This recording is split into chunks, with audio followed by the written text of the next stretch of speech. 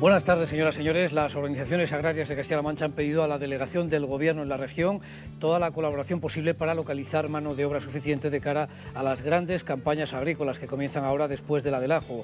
En esta reunión de coordinación también han analizado la situación que vienen denunciando de casos de usurpación de identidades extranjeros en la tramitación de esos contratos para pedir protección al empleador agrícola que no tenga que asumir las consecuencias que difícilmente puede advertir en ese tipo de supuestos. En los fraudes que ah, estarían cometiendo algunas empresas terceras bajo el formato de ETTs a la hora de eh, incumplir lo pactado en los convenios desde el punto de vista de los honorarios y los jornales.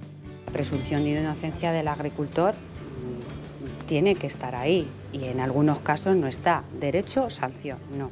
Vamos a averiguar qué es lo que ha pasado, vamos a saber si el agricultor lo sabía o no lo sabía, que yo ya os digo que no se sabe al tener eh, eh, alguna, algún contacto con alguna cuestión que no se está produciendo desde el punto de vista legal, pues rápidamente se activan todos los servicios. En el Rincón de la Caza y la Pesca hay buenas noticias también dentro de la competición con otra medalla, otra medalla para los pescadores de Castilla-La Mancha Ángel. Pues sí, Jaramillo, en este caso de plata tras la buena actuación en el Campeonato de España de Agua Dulce en Cebador, estilo libre. La Asociación de Castilla-La Mancha ha quedado segunda posición, subcampeones de España y en el talabrano Roberto Rodríguez Morante también se subía al segundo puesto de ese podio. Enseguida se lo contamos. También les vamos a enseñar estas imágenes. Es la última campaña del proyecto Libera y Ecoembes para fomentar la limpieza de los entornos medioambientales ligados, en este caso, a la práctica de la pesca. La mayoría de nuestros pescadores ya está concienciado, pero la contaminación sigue siendo también un problema importante.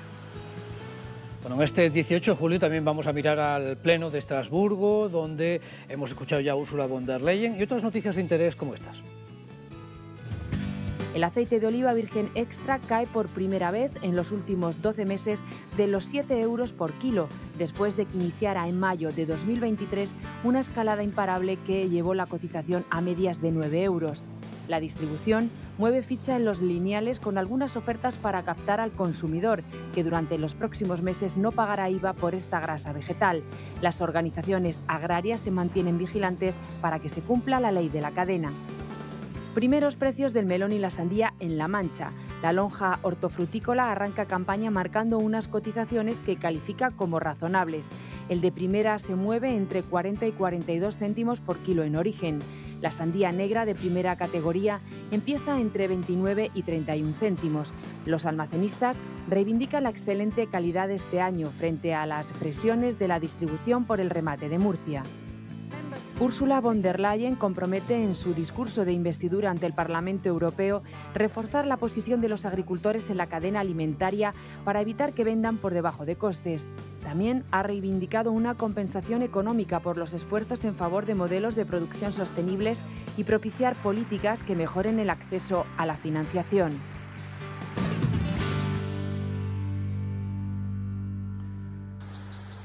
La ola de calor en la que ya estamos inmersos eleva las necesidades de riego en algunos cultivos. Eh, el maíz cuenta con una previsión bastante estable en sus aportes diarios. Este vídeo nos lo manda Rafa desde la zona regable de Malpica de en la provincia de Toledo.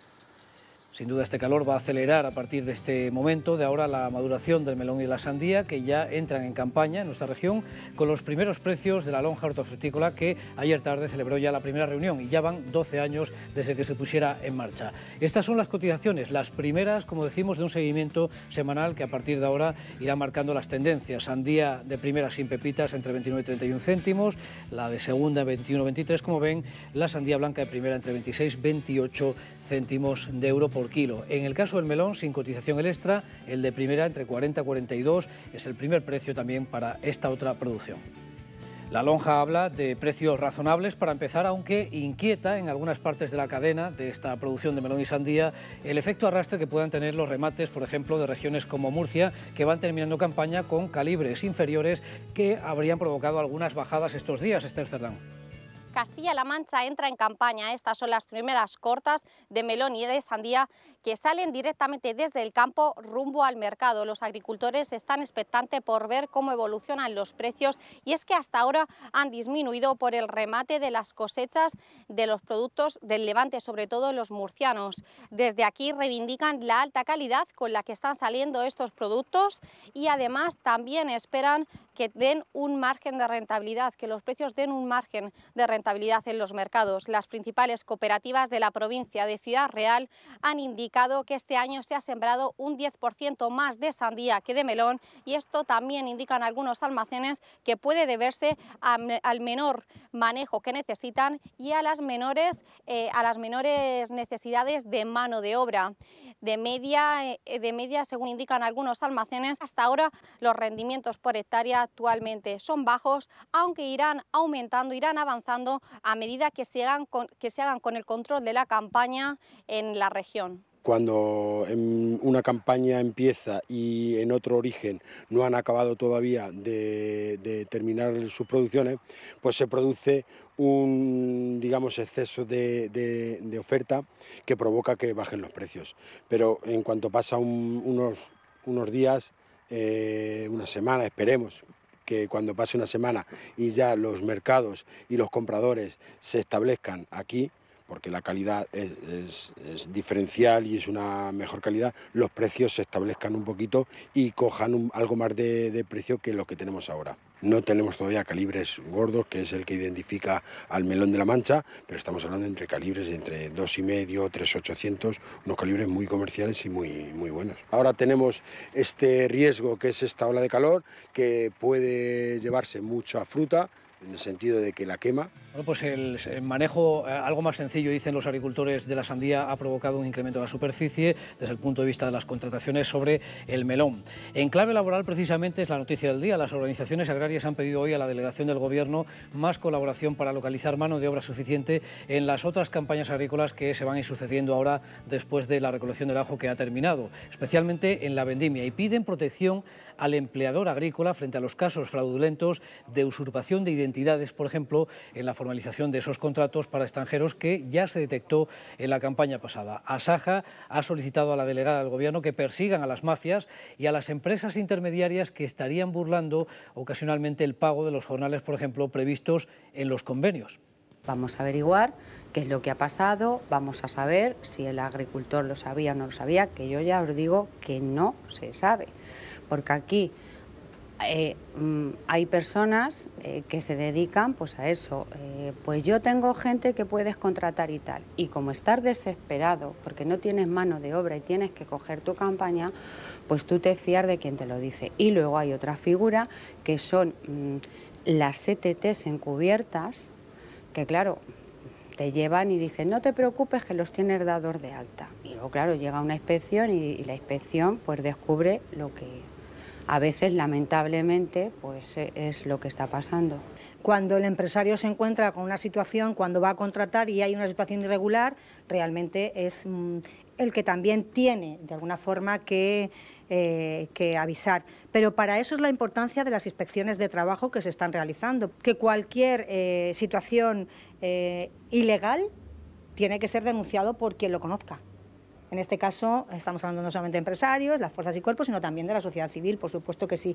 Eso lo que facilita es la convivencia y lo que facilita de alguna forma es la transparencia. Desde la Unión de Pequeños Agricultores de Castilla-La Mancha confirman que este año, con la tramitación de los contratos, al menos hasta el ajo, por ejemplo, las usurpaciones, los casos de usurpación de identidad de extranjeros ha sido más testimonial que el año pasado, aunque siguen dándose eh, situaciones algunas difíciles de detectar, otras más evidentes personas de nacionalidad rumana que pegan una fotografía encima, que no son ellos, hacen una fotocopia, nos intentan meter esas fotocopias, o algún trabajador de, de Marruecos, que igual vienen con fotocopia, ya sospechamos que no son ellos cuando no son los originales, y bueno, y, luego también este año hemos tenido en menor medida, que no ha habido casi ninguno, pues demandantes de asilo por razones humanitarias, que van con unas tarjetas rojas, y el año pasado sí que nos, nos falsificaban y nos intentaban meter muchas falsificaciones, pero este año ha sido algo muy testimonial, muy poco. Ese tipo de trabajadores no han venido a la campaña Ajo. Estas personas que son demandantes de asilo es una tarjeta que es de color roja, que es muy fácil falsificar, ah, incluso nos lo ha reconocido la Policía Nacional, que con una impresora normal láser pueden falsificarla, pero eh, el resto son falsificaciones burdas. Bueno, en este contexto recordamos también que el cumplimiento de la Ley de Prevención de Riesgos Laborales es otro asunto capital en el trámite de contratación de cualquier persona, cualquier trabajador. No olvide tener ese plan al día y la formación y los medios actualizada. Hoy el secretario de la Unión General de Trabajadores ha pedido desde Badajoz un cambio profundo en la Ley de Prevención de Riesgos Laborales para que se incorpore una cláusula que prohíba incluso algunas actividades al aire libre en situaciones de riesgo extremo como puede ser ahora el calor.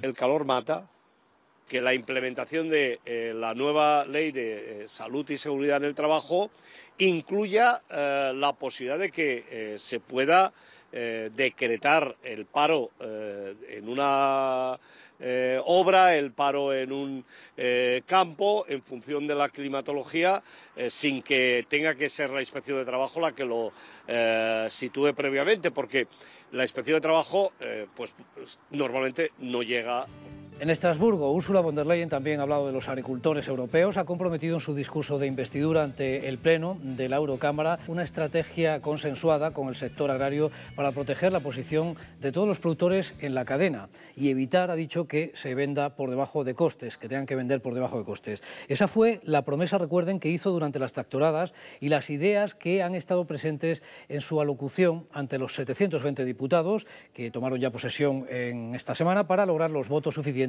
y salir reelegida como presidenta de la Comisión Europea. Nadie debe verse obligado a vender productos de buena calidad por debajo de su precio oficial. Tenemos que valorar la posición de nuestros agricultores con incentivos y acceso a la financiación. Quien opta por un enfoque sostenible, reduciendo las emisiones de CO2, pues tendrá que verse remunerado por sus esfuerzos. Bueno, pues han visto las referencias al sector agroalimentario, esos compromisos han tenido ya reacción entre algunos grupos eh, políticos que apoyaron esa investidura. La eurodiputada por Ciudad Real, Cristina Maestre, del Grupo Socialista, ha dicho en Estrasburgo que von der Leyen ha vuelto al redil.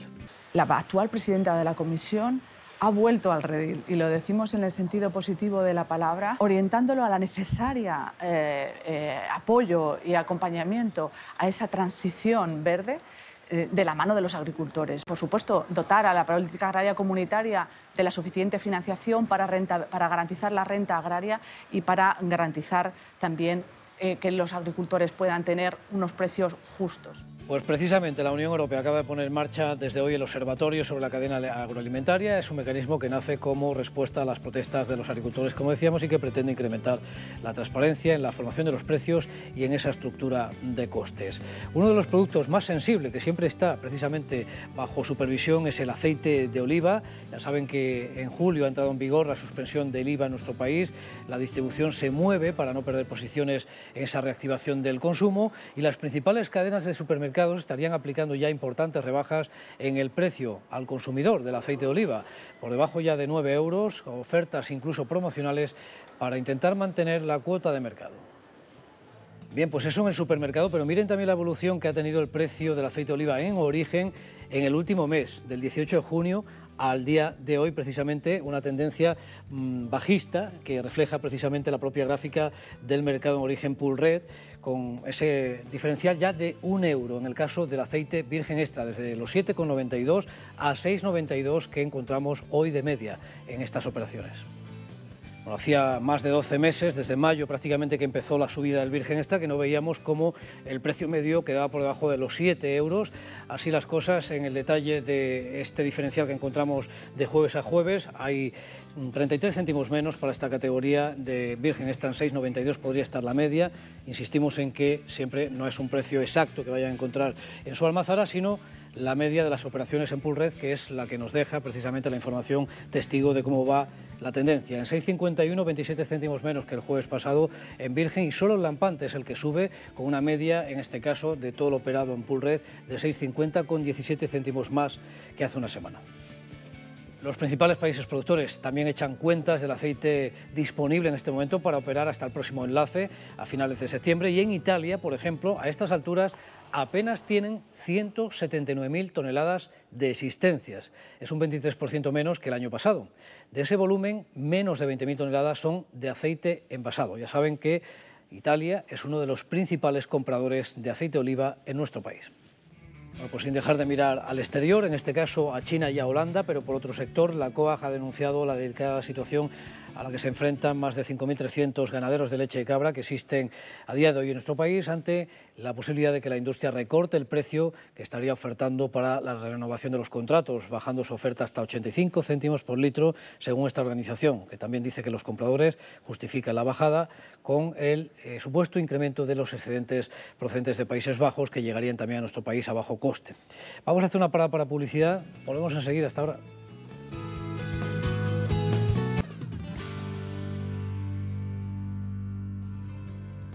Asamblea de Vendimia de las cooperativas, bodegas cooperativas de Castilla-La Mancha, que han planteado ya la primera cifra de lo que podría ser la recolección de uva a partir del mes de agosto, unos 24 millones de hectolitros, mirando también de cerca al volumen de existencias. La preocupación sobre todo es el tamaño de la próxima vendimia. Sabemos que si los mercados están relativamente cortos, cosechas muy elevadas podrían generar excedentes y por lo tanto tener un efecto muy importante sobre los precios.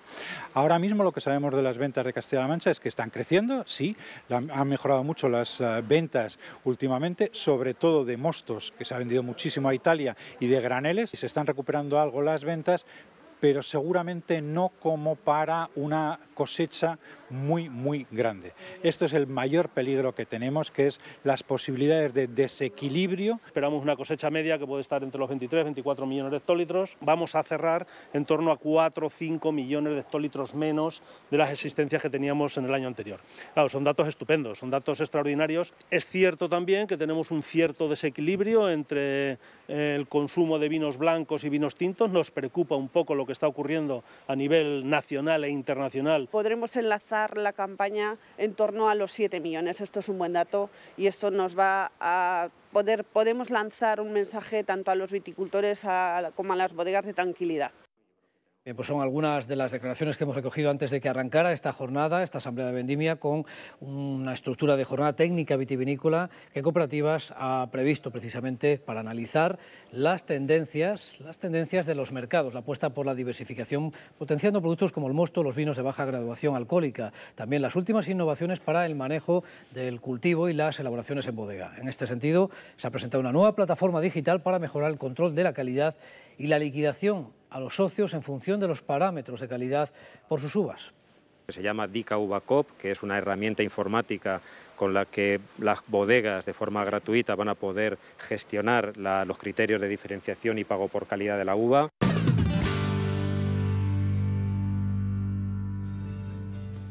Vamos ya con el rincón de la caza y la pesca, hoy con un mensaje muy directo para concienciarnos todos de la importancia de mantener limpio nuestro entorno medioambiental. Lo cuenta Ángel, cuéntanos. Pues sí, Jaramillo, es una tarea de todos, pero especialmente de los que disfrutamos de actividades al aire libre como son la caza o la pesca. Por eso los pescadores son protagonistas de la última campaña del proyecto Libera de Sovir Life en alianza con Ecoembes. Uy, ha picado algo. Ah, ah, no, es una lata. Pues no. A verla. ¡Tirado antes! ¡Su asqueroso!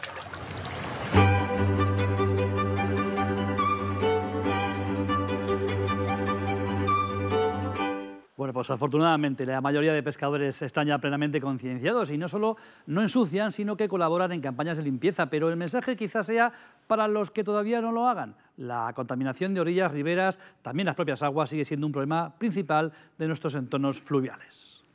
Bueno, en página de competición, el verano nos sigue dando buenas noticias de mano de los deportistas de Castilla-La Mancha, empezando, por ejemplo, por los más jóvenes que han brillado en el último Campeonato de España Agua Flotador Juvenil. Por ejemplo, en categoría infantil, nuestra selección se proclamó campeona de la edición número 19 de este campeonato. Felicidades a nuestros representantes. En categoría juvenil quedamos cuartos, así que también enhorabuena por todo el futuro que tienen por delante. Y los mayores tampoco defraudan. En el último campeonato de España de agua dulce cebador estilo libre, la selección de Castilla-La Mancha ha quedado en segunda posición. Subcampeones de España, por tanto, ahí están, colgándose la medalla en ese torneo disputado en Valencia y en individual el talabrano Roberto Rodríguez Morante también, ahí está, subía al podium en segundo puesto. Así que una vez más, enhorabuena. Y a nivel internacional, España también sigue consiguiendo medallas. Por ejemplo, el último campeonato del mundo de pesca a mosca, disputado en Francia, nuestra selección consiguió la plata por detrás de la selección local. Enhorabuena.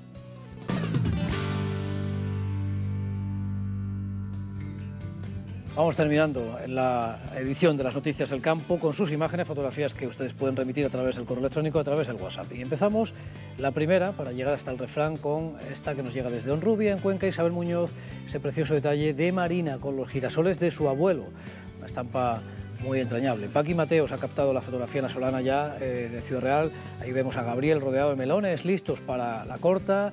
También eh, otra imagen de Ana Carrión Observen el detalle de ese combro de tamaño XL, nos dice en Almansa, en Albacete, y el refrán que dice que por Santa Marina, da una vuelta por tu viña. Aquí lo dejamos, se quedan en compañía, volvemos esta noche, actualizamos antes de las 9, le esperamos. Que pasen buena tarde.